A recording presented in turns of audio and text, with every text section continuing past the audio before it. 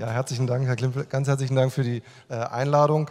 Ähm, ja, ich war vor nicht allzu langer Zeit im Alten Museum und hatte die Gelegenheit, mit meinen äh, Kindern einen wirklichen Märchenerzähler zu erleben. Seitdem ich das ähm, Glück hatte, würde ich es mir nicht anmaßen, so etwas selber zu versuchen. Das war große Kunst und hat im Übrigen auch anderthalb Stunden gedauert. Auch damit würde ich Sie nicht langweilen. Ähm, nein, ich ähm, will Ihnen ein wenig erzählen von dem äh, Fall, der durch die Gazetten gegangen ist unter dem Stichwort äh, die Knipsgebühr. Ich das jetzt hier hinkriege? Ja. Ähm, es ist kein Märchen, ähm, allerdings in der Begrifflichkeit sehr wohl. Ähm, das war der Aufhänger mehr nicht. Ähm, es wurde immer unter Knipsgebühr äh, subsumiert. In Wirklichkeit äh, versteckt sich da etwas anderes hinter und das werde ich versuchen Ihnen darzustellen. Insofern passt das auch sehr gut zu meinem Vorredner. Ähm, ich vertrete da in der Tat diametral andere Ansichten. Ähm, nicht so sehr äh, weil ich jetzt in diesem Falle von dem Fall berichte, sondern weil ich auch zutiefst davon überzeugt bin, dass in der gesellschaftlichen Diskussion um eine ähm, Justierung unserer geistigen Schutzrechte, die im Gange ist und die ich für sehr, sehr wichtig halte, die äh, Zuordnung des Eigentumsbegriffs für ziemlich äh, zentral halte. Ähm, und ich glaube, dass wir in bestimmten äh, Details äh, in der Tat über das Ziel hinausschießen. Da gebe ich Ihnen völlig recht und äh, da sind einige Ansätze drin, die ich durchaus teilen kann. aber im Grunde ich doch glaube, dass die, ähm, die Herangehensweise, die wir haben, mit den Schutzrechten richtig ist. Sie werden allerdings, da gebe ich Ihnen auch völlig recht, an einigen Stellen übertrieben und das gilt es, denke ich, einzugrenzen in nächster Zeit. Nun aber zurück zu meinem, meiner Knipsgebühr. Ähm, eigentlich gäbe es ja viel wichtigere Dinge in Potsdam, über die man reden könnte. Ähm, so schöne Aufmacher wie diese, diesen Zeitungsbericht. Da gibt es wirklich spannende Menschen, die in Potsdam leben, die interessante Sachen machen, wie äh, sich darum kümmern, ob sie vielleicht demnächst äh, Unterwäsche-Design machen und äh, von ihrem bisherigen äh, Abstand nehmen.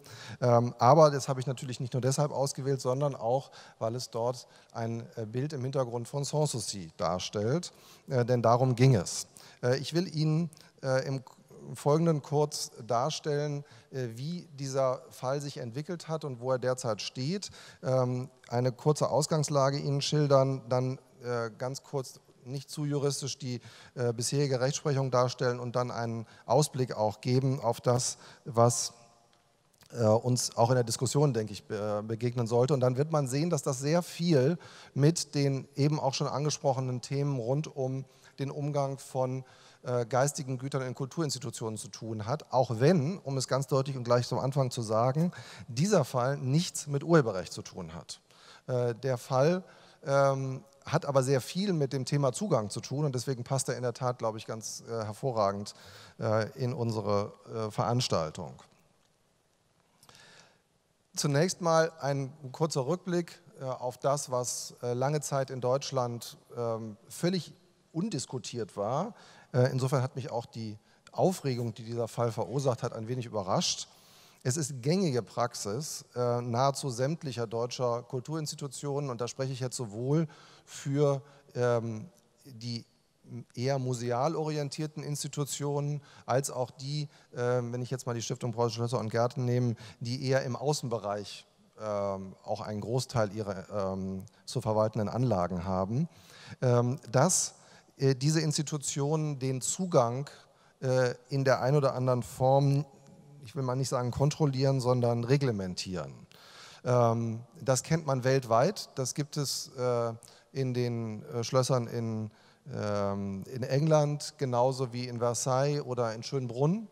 Ähm, aber es gibt es eben auch natürlich, und das kennt jeder von uns, in kunsthistorisch orientierten Museen in die sie nicht hineinlaufen können mit einem Blitzlichtapparat und sich vor Rubens aufstellen und erstmal ähm, ihren starken Blitz dort ausprobieren. Ähm, das ist gängige Praxis und ähm, geht zurück unter anderem, das existiert aber auch viel länger schon, auf einen Beschluss der Kultusministerkonferenz aus dem Jahr 1992, die die Institutionen aufgefordert hat, ähm, entsprechende äh, Regelungen zu treffen, die auch das werden Sie gleich wiedersehen, nicht nur den Zugang reglementieren, sondern auch die äh, entsprechende Regelungen enthalten, wie der Zugang zu ermöglichen ist, wie also die öffentlichen Institutionen, die mit öffentlichen Mitteln finanziert sind, ähm, gewährleisten, dass Forschung und Lehre stattfinden kann, dass zum Beispiel eben das Bild, was wir gerade gesehen haben, öffentliche Berichterstattung stattfinden kann. Dazu gleich im Detail noch mehr. Ähm, daneben ähm, gerät natürlich auch bei öffentlichen Institutionen, äh, Kulturinstitutionen immer mehr die Finanzierung in den äh, Mittelpunkt. Ich werde gleich einige Zahlen von der Stiftung Preußische Schlösser und Gärten nennen, äh, die deutlich macht, über was wir Summen wir da reden. Natürlich kann ähm, eine in Anführungsstrichen Knipsgebühr, ich finde dieses Wort wirklich fürchterlich, ähm, da keinen wirklichen ähm, substanziellen Beitrag zu leisten, aber sie kann ähm, einen entsprechenden Beitrag im Bereich der Dokumentation und Informationszentren leisten, die durchaus äh, wertvoll sind, um einen Aufbau dort zu ermöglichen. Ähm, wie wird das jetzt äh, juristisch diskutiert, diese, diese Frage, ob es überhaupt einen solchen eine solche Reglementierung geben soll.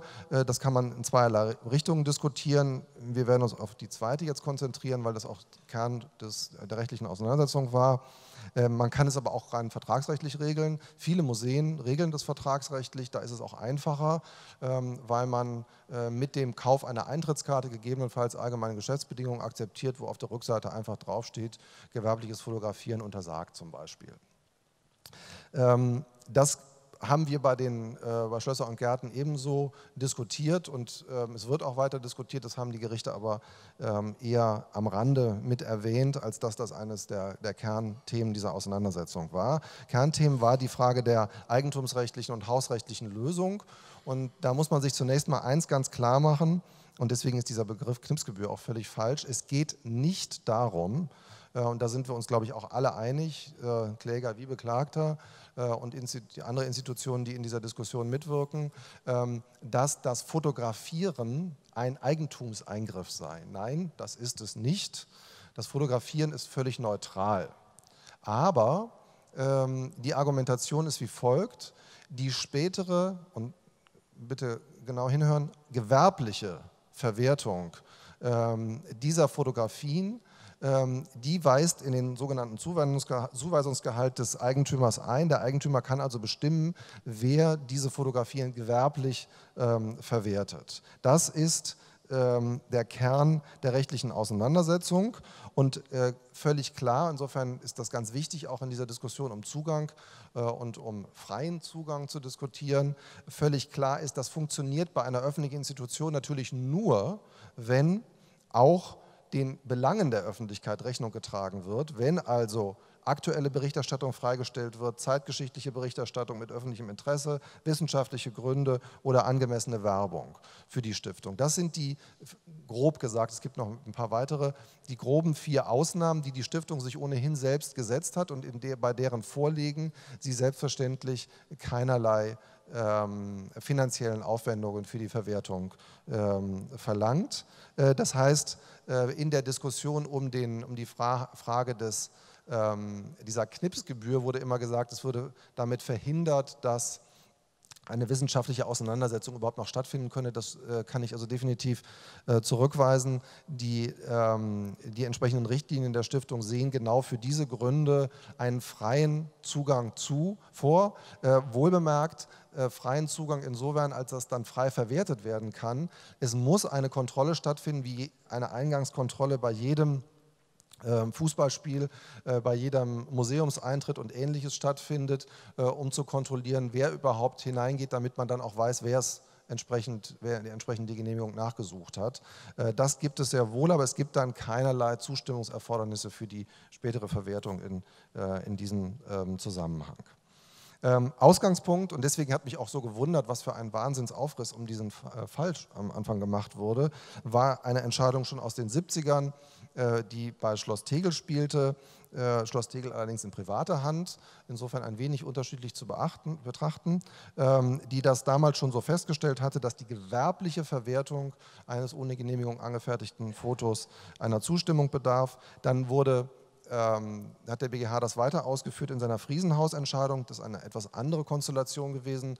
Dort war es ein privates Haus was allerdings von einer öffentlichen Straße aus fotografiert wurde. Und da hat der BGH im Umkehrschluss dann gesagt, das wiederum ist erlaubt, denn solange man sich auf einer öffentlichen Straße befindet, ähm, mit dem Gedanken, den es aus dem Urheberrecht gibt, äh, kann man ohne Zustimmung nicht nur fotografieren, sondern auch verwerten. Und dann etwas, was ähm, relativ wenig Beachtung findet, aber was man, glaube ich, noch im, im Blick halten sollte, ähm, ist diese Entscheidung des Bundesgerichtshofs zur Hörfunkberichterstattung. Ähm, unsere gesamte Fußball-Bundesliga- und Champions League-Konstruktion funktioniert exakt so, nämlich über das Eigentums- und Hausrecht. Ähm, auch FC Bayern München und die Hertha, gut, die Hertha hat gerade ein paar andere Probleme, aber ähm, jedenfalls, na, natürlich auch die in der zweiten Liga, keine Frage. Ich bin Gladbach-Fan, deswegen darf ich das hier sagen. Ähm, äh, auch die äh, in der zweiten und dritten Liga natürlich ähm, kontrollieren ihre Berichterstattungsrechte über Eigentum und Hausrecht. Das heißt, es ist die juristisch exakt gleiche Konstruktion wie den Eigentums- wie, wie den, den, die Zugangskontrolle bei Museen und anderen äh, Kulturinstitutionen. Äh, auch das hat der BGH äh, festgestellt, dass das rechtlich äh, nicht angreifbar ist. In diesem konkreten Fall ging es, kombinierte der Sachverhalt ein wenig die verschiedenen Konstruktionen, die wir bisher hatten. Ähm, und vor allen Dingen, äh, es ging einerseits um, um eine äh, Plattform im Internet, die ähm, für die Presse vor allen Dingen Fotografien bereitstellte und zum anderen ging es um einen äh, Anbieter, der selbst eine Aufnahme in, im Parc von Sanssouci unter Umgehung dieser Genehmigung gemacht hatte und eine DVD daraus hergestellt hatte, die er dann äh, vertrieben hat. In diesen, dieser konkreten Konstellation hat der BGH noch einmal bekräftigt, was ich eben gesagt habe, nämlich, ähm, dass ähm, die gewerbliche Verwertung ähm, die, nicht nur die Anfertigung, sondern Anfertigung mit der Verwertung, gewerblichen Verwertung von Fotografien dem äh, Grundstückseigentümer zusteht.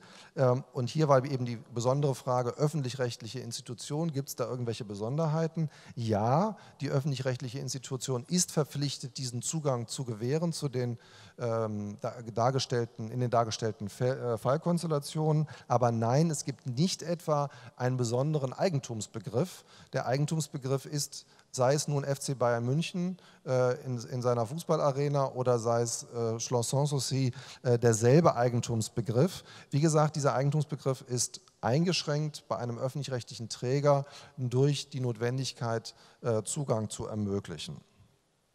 Dann gab es noch weitere Themen, die hier aber für unseren Fall heute, für unsere Diskussion heute überhaupt keine Rolle spielen, äh, inwiefern der Portalbetreiber, wen die eine Haftung traf und äh, Schadensersatzhöhe und so weiter. Das äh, ist momentan wieder beim BGH, wird wieder verhandelt, wobei das eher ein, aus meiner Sicht eher ein Randthema ist. Darum geht es nicht vordringlich. Wichtig ist, dass der Bundesgerichtshof noch einmal festgestellt hat, dass die dass wir in Deutschland keine zwei Eigentumsbegriffe haben. Es gibt ein Eigentums, einen Eigentumsbegriff, der möglicherweise öffentlich-rechtlich bei einer öffentlich-rechtlichen Kulturinstitution überlagert ist. Das halte ich auch für völlig richtig. Aber ähm, die, äh, der, der, Eigentumsbegriff selbst verändert sich nicht. Wir haben also nicht etwa äh, zwei Formen von Eigentum, je nachdem, wer der Träger des, äh, des Eigentums äh, äh, ist.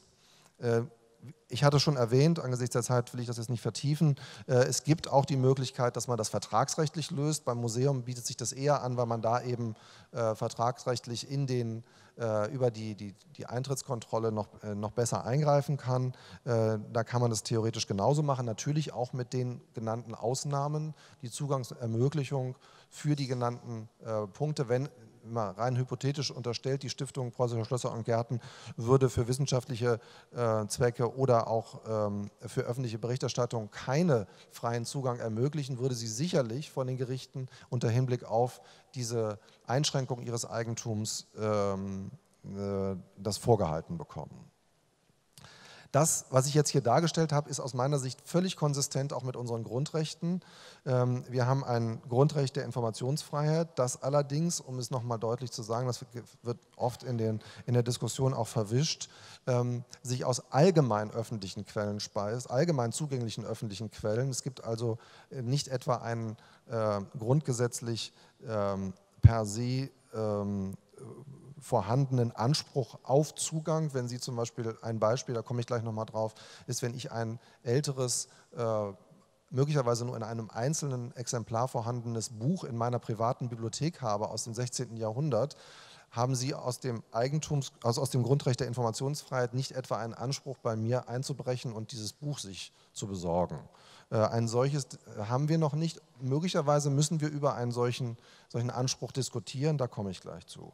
Ähm, die Pressefreiheit ist meines, meines äh, Wissens oder meines, meiner festen Überzeugung auch nicht betroffen. Wir müssen im Übrigen auch hier sehen, es ist ein, ein klassisches Abwehrrecht gegen staatliches Handeln. Es wäre allenfalls also eine mittelbare Drittwirkung denkbar, ähm, die äh, in, in dem vorliegenden Fall, wo es um die Möglichkeit ging, selbst ähm, Pressebilder anzufertigen, nicht betroffen war, denn das ist frei äh, möglich nach den Richtlinien.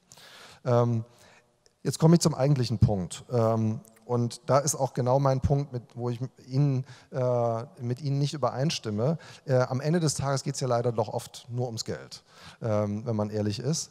Ähm, wenn wir sehen, dass, das sind jetzt hier einige Zahlen der ähm, Stiftung Preußische Schlösser und Gärten, die ein Gesamtbudget von etwa 70 Millionen Euro pro Jahr haben. Davon äh, kommen etwa 40 äh, Millionen Euro durch öffentliche Zuschüsse, äh, zustande. Sie haben große Schwierigkeiten mit Kostensteigerungen, Tarifsteigerungen. Das ist, glaube ich, in jeder Kulturinstitution gleich. Ähm, Sie haben einen Gesamtinvestitionsbedarf in den nächsten 25 Jahren von etwa 765 Millionen Euro, um die Schlösser und Gärten so zu erhalten, wie sie äh, sich präsentieren und wieder in einem vertretbaren Zustand zu versetzen. Einige müssen dringend saniert werden. Es gibt mittlerweile einen sehr, sehr lobenswerten Masterplan, den Herr Professor Dorgolo, der ähm, Generaldirektor, ähm, mitverhandelt hat der 155 Millionen Euro deckt. Ähm, aber wenn man alleine weiß, dass die jährliche Pflege und Instandhaltung 30 äh, Millionen kostet, wovon etwa 5 Millionen durch Drittmittel gedeckt sind, dann sehen Sie, was da für Lücken klaffen. Und jetzt geht es mir überhaupt nicht darum, diese simple Rechnung aufzumachen, na, dann braucht man nur ein paar Fotogenehmigungen und dann wird das schon bezahlt. Natürlich nicht, darum geht es nicht. Was ich aber bei der Diskussion erstaunlich finde, ist, dass eins immer wieder kaum oder wenig Beachtung findet. Ich finde find es völlig nachvollziehbar, dass wir als Bürger dieser, äh, dieses Staates, die Steuern zahlen, einen solchen Park besuchen wollen, ohne da noch zusätzlich was zu zahlen, wobei auch das schon schwierig wird angesichts der Zahlen, die ich eben dargestellt habe. Ähm, und ich kann es auch total nachvollziehen, dass wir unsere Fotografien für unsere privaten äh, Zwecke dort umsonst machen wollen. Ja, aber daraus dann zu schließen, dass auch jeder das können muss, das verstehe ich nicht. Denn am Ende des Tages bedeutet es doch, wenn man das jetzt mal volkswirtschaftlich betrachtet, Folgendes. Derjenige, der dann da reingeht und es für sich kommerzialisiert, um eine DVD herzustellen, der freut sich darüber, dass wir alle Steuergelder zahlen. Ich verstehe das völlig, dass man private Nutzung gestatten soll. Aber warum muss ich dann mit meinen Steuergeldern jemand anderes, der es für sich kommerzialisiert, um seinen Gewinn zu machen, subventionieren? Das sehe ich nicht ein. Also eine, ein Argument, und das hat wirklich nichts damit zu tun, dass ich jetzt sozusagen äh, Einnahmensteigerung für öffentliche Kulturinstitutionen das Wort rede, obwohl das auch an einigen Stellen sicherlich sinnvoll wäre, ähm, hat schlicht und ergreifend damit zu tun, dass man dieses diese Logik mal zu Ende denken muss und dann sich fragen muss, was bedeutet das denn dann, wenn man Dritte, in diesem konkreten Fall jetzt bei den, bei den, bei den Fotografien, wenn man solchen Dritten es erlaubt, frei zu kommerzialisieren, ohne die öffentliche Hand partizipieren zu lassen. Und das ist genau auch das, das Argument, warum ich Schwierigkeiten damit habe, dass das Urheberrecht für die öffentliche Kulturinstitution ähm, zurückgefahren werden sollte. Ähm, ich gebe Ihnen recht, dass, ich, ähm, dass man sich fragen kann auf den ersten Blick mit, ähm, es ist bezahlt worden, ja, aber umgekehrt, warum soll ich denn dann den kommerzialisieren lassen, der, ähm, ohne dass er da selbst was für tut, mit unser Steuermittel im Grunde genommen sein eigenes Geschäft aufbaut. Der wird natürlich damit nicht ähm, das nur auf Steuermitteln aufbauen, gar keine Frage. Aber immerhin hat er einen gewichtigen Vorsprung, denn wenn äh, die Stiftung, die äh, mit unser aller Steuermittel diese Sanierung nicht machen würde, könnte er eine solche DVD ähm, zu einem, einem, äh, einem Welterbe wie Sanssouci äh, nicht mit für ihn großen Erfolg äh, verwerten. Ähm, also das, finde ich, sollte man äh, zusammenhalten. Und dann sollte, sollten wir, glaube ich, noch den Schritt weitergehen, der hier natürlich getan wird in, in, in der, im, im, großen Thema und uns äh, darüber im Klaren sein, dass wir in der Tat offensichtlich verstärkt weniger über Eigentumsrechte reden als über Zugang. Das Buch von Rifkin ist allgemein bekannt. Ähm, es gibt das übrigens schon länger. Äh, das finde ich so ganz äh, so faszinierend bei der äh, Diskussion im geistigen Eigentum, dass es an verschiedensten Stellen in der öffentlichen Diskussion solche Diskussionen gibt, ohne dass sie zusammengeführt werden. Und das finde ich sehr, sehr löblich, wenn es gelingen, gelingen würde, das einmal zusammenzuführen. Hier ausgerissen nur als Beispiel zwei Regelungen aus Forschungsrahmenverträgen der EU. Die EU ähm, hat bei ihrer Forschungsförderung im, ähm, im Umfeld von äh, äh, Großforschungsvorhaben ähm, entsprechende Regelungen in ihren Rahmenverträgen drin, die Open Access fordern ohne allerdings auch da wiederum eine Abstimmung auf die Patentrechte der betroffenen Einzelunternehmen herzustellen. Dann haben Sie dann ein Konglomerat von zehn Institutionen, die daran mitwirken, die zu Open Access verpflichtet sind, ohne dass das inhaltlich miteinander funktioniert. Insofern ähm, ein Beispiel nur, wäre ich sehr dankbar für eine weitergehende Diskussion darüber, ähm, wie Open Access mit Eigentumsrechten und mit Schutzrechten äh, zusammengeht äh, und eine weitere Öffnung der Diskussion auch in, in Richtung andere ähm, Schutzrechtsbeteiligte. Ich meine daher, jetzt komme ich zum Schluss, man müsste differenzieren. Ähm, wir müssen einerseits ähm, zwischen Sacheigentum und geistigem Eigentum differenzieren. Beim Sacheigentum, egal ob Immobilien oder Mobilien, gibt es meines Erachtens bislang kein, kein Recht auf freien Zugang. Es gibt gegebenenfalls Teilhaberechte. Ob es ein Recht auf freien Zugang zu Sacheigentum geben sollte, ist, sollte dann auch so klar diskutiert werden in der Öffentlichkeit und es nicht an solchen Lächerlichkeiten wie so einer Knipsgebühr festzumachen, meines Erachtens, sondern wir müssten dann eine Grundsatzdiskussion darüber führen, ob sie in meine Bibliothek rein können sollen. Ähm, und äh, auf der anderen Seite eben das geistige Eigentum, was davon zu trennen ist. Darum bitte ich sehr, diese, diese, diese Unterscheidung auch klar zu haben, dass ähm, bei geistigem Eigentum ist nicht ist der Zugang zu geistigem Eigentum nicht zwingend mit einer Verletzung vom geistigen Eigentum einhergeht, denn Informationen ähm, und der Schutzgegenstand geistiger Güter sind durchaus etwas Unterschiedliches. Das, ist, äh, das eine kann man haben, ohne das andere äh, wegzuschmeißen, sage ich mal salopp. Ähm, das ist also meine, äh, meine Message. Ähm, ich bin dafür äh, zu differenzieren zwischen äh, Sacheigentum und geistigem Eigentum und darüber nachzudenken, ob man diesen Zugangs, diese Zugangsdiskussion nicht allgemeiner führen müsste, ähm, dann wäre sie meines Erachtens ehrlicher. Das haben einige ja auch schon erkannt, ähm, wie man bei dem schon erwähnten Google Books Projekt gesehen hat. Andere haben es vielleicht noch nicht erkannt äh, bei dem nicht bedachten äh, Veröffentlichungen der ein oder anderen äh, Piratin. Ähm, aber auch da werden wir sicherlich noch einige sehr äh, interessante Diskussionen bekommen. Ich bedanke mich herzlich für Ihre Aufmerksamkeit und höre auch gerne nachher noch, ich bin noch ein bisschen länger da, äh, wenn Fragen bestehen.